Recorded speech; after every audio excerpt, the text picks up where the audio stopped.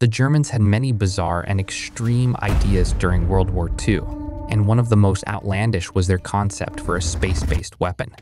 Dubbed the Sun Gun or Sonnengewehr in German, this idea involved placing a massive mirror, about 9 square kilometers in size, in orbit around the Earth. The purpose of this mirror would be to concentrate sunlight and focus it onto specific locations on Earth, much like how children sometimes use magnifying glasses to focus sunlight and burn things. The theory was that this could be used to set cities ablaze from space.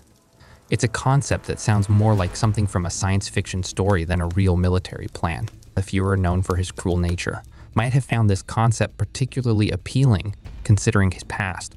Fortunately, this project never progressed beyond the planning stages. But it serves as a chilling reminder of the extreme lengths the Germans were willing to go to in order to achieve their goals of world domination. It's well known that the Germans were capable of extreme actions, and this is evident in the advanced weaponry they developed during World War II. This topic has been explored in various discussions and documentaries, drawing interest not for ideological reasons but because of the technical sophistication of these weapons. The Germans were able to create formidable military technology, making them a tough opponent. Some of their notable innovations include the V-1 and V-2 rockets, Panzer tanks, Messerschmitt fighter planes, and the STG-44, which was the first assault rifle. These advanced weapons played a significant role as the Germans swiftly conquered territories. However, the Allied forces eventually regrouped and mounted a strong resistance as the war turned against them. And with the Soviet Red Army closing in on Berlin, the Fuhrer took his own life using a Walther PPK pistol. This marked a pivotal moment in the war, leading to the eventual downfall of the German regime. On April 30th, 1945, marking a significant turn in World War II. Fuhrer's death was followed by the surrender of the remaining German leadership one week later. This event signaled the conclusion of the conflict in Europe, despite the Germans' deployment of some of the most advanced military technology of the time. They ultimately failed in their conquest. It's interesting to note that the outcome of the war might have been drastically different if the Germans had successfully developed and used their most extreme weapon concepts but before delving deeper into the German era, it's worth looking back at an ancient figure whose ideas influenced many modern inventions Archimedes. Archimedes is a well known historical figure, renowned for his immense contributions to science and mathematics. He's credited with determining the value of pi, making groundbreaking advancements in calculus long before it was formally recognized and discovering the principle that objects submerged in a fluid lose weight equivalent to the weight of the displaced fluid. These contributions highlight Archimedes' enduring impact on the scientific world. Archimedes, known for his significant contributions to hydrostatics, is also associated with a legendary invention used to defend his hometown, Syracuse, in Sicily. This invention, often referred to as the death ray, is a subject of much speculation and debate. It's unclear whether it truly existed, as we're discussing events from around 212 BC. And over time, myths and exaggerations can blur the lines between fact and fiction. The death ray, as the legend goes, consisted of a series of mirrors that supposedly concentrated the sun's rays to set fire to Roman ships before they could land. This idea seems quite improbable, and its first mention in historical records occurred more than 300 years after Syracuse's downfall. This delay raises doubts about its existence. If it were such an effective weapon, it's curious why it wasn't documented more promptly and widely. In recent times, this concept has intrigued many, inspiring attempts to recreate or explore the feasibility of such a device. Various groups have attempted to test the feasibility of Archimedes' supposed death ray, Notably, the popular TV show Mythbusters tackled this challenge twice, ultimately concluding it was a myth after failing to recreate it. However, there have been some successful experiments. In 1973, a Greek engineer and later researchers at MIT in 2005 managed to ignite wooden structures using mirrors, somewhat supporting the concept. These experiments, though successful to an extent, didn't quite match the legendary accounts of the death ray single-handedly defeating a Roman fleet.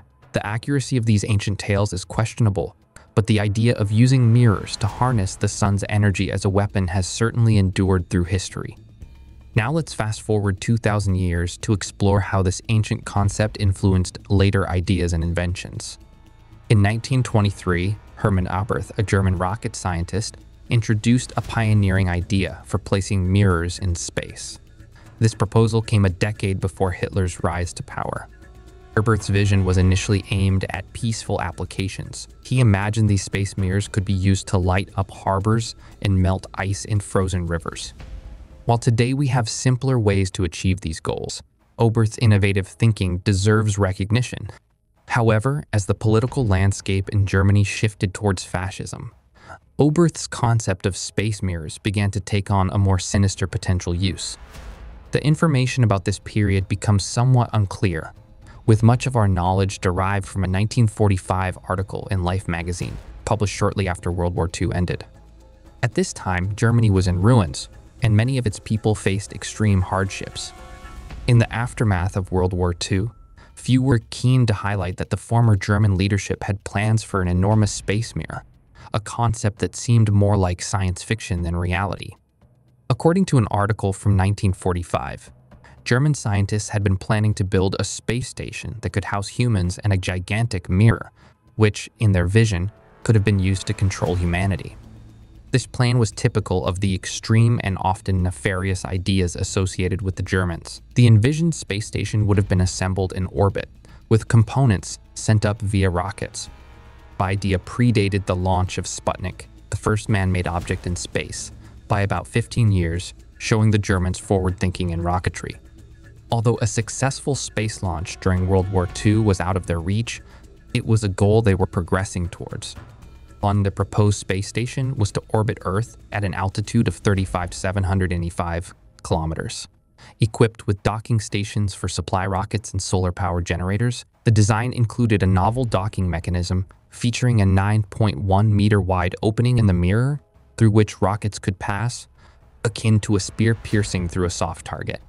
This ambitious plan, although never realized, reflects the advanced level of German rocket technology at the time. The envisioned design for the space station included a unique docking system where the front of the rocket would connect with the station's interior, while the rear remained outside, to supply oxygen within the station. They planned to use hydroponic gardens, with a focus on growing thousands of pumpkin plants known for their high oxygen production. These plants would rely on artificial fluorescent lights for growth as direct sunlight in space, without Earth's protective atmosphere would be too harsh for them. The station's occupants would have worn specially designed shoes with magnetic soles to help them stay grounded in the zero-gravity environment. Additionally, harnesses would be necessary to prevent accidental collisions with the ceiling or other parts of the station due to the lack of gravity. The article also mentioned the choice of building materials for the station, highlighting metallic sodium as a key component. This choice was likely due to its abundance, and some of its properties that would have been advantageous in space construction. The plan for the space station included the use of sodium cyanide and sodium peroxide, materials later used in nuclear power plants for heat exchange. The estimated timeline for building this station was around 15 years, with a budget of approximately 3 million German marks, which would be around $107 million today.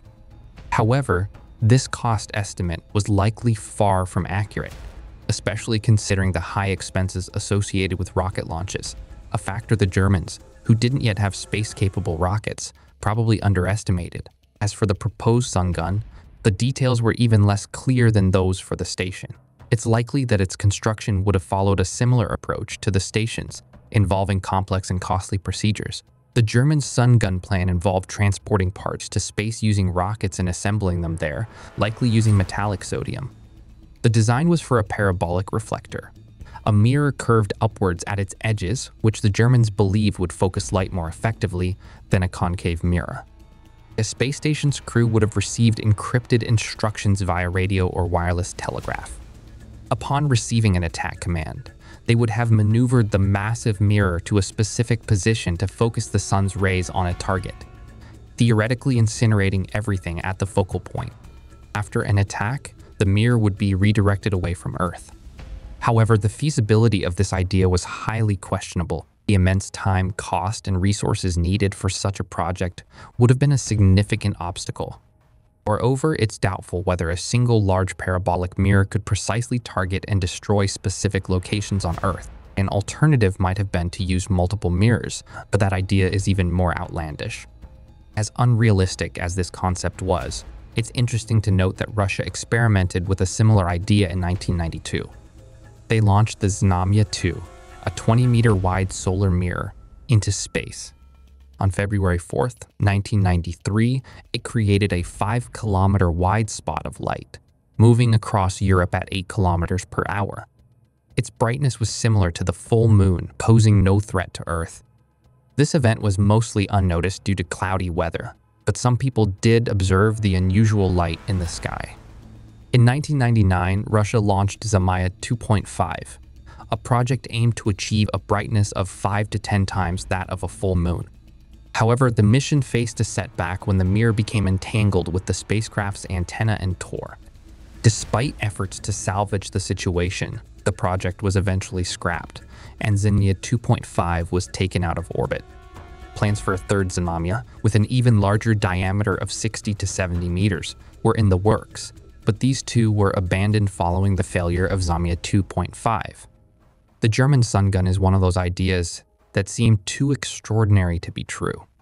It's likely that the project never advanced beyond the initial stages due to the unrealistic projections of cost and time. The mere fact that such a concept was under consideration is remarkable. The sun gun, had it been realized, would have presented a formidable threat, potentially more alarming than nuclear weapons. Fortunately, it remained an unfulfilled idea one of the most outlandish yet fascinating concepts in history.